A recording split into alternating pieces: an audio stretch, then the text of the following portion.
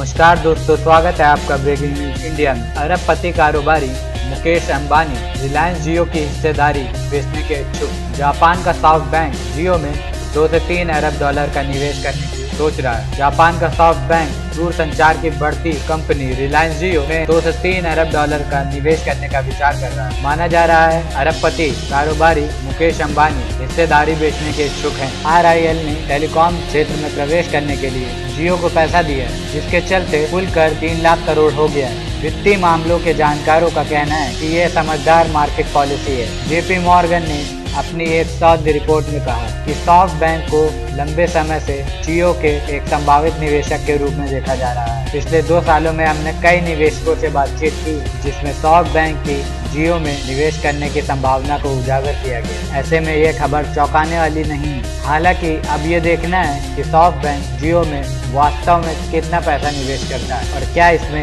ई वाणिज्य व्यापार को भी शामिल किया जाएगा? इसके साथ ही सॉफ्ट बैंक का विजन फंड वर्तमान में जियो इन्फोकॉम में हिस्सेदारी को लेकर जाँच परख कर रहा है। कंपनी ने सितंबर 2016 में अपनी सेवा शुरू की थी और मात्र दो साल के भीतर ही वह भारत की तीसरी सबसे बड़ी दूर संचार सेवा प्रदाता बन गई इसी तरह की न्यूज़ अपडेट्स में बने रहने के लिए हमारे चैनल को सब्सक्राइब करना ना भूलें। धन्यवाद।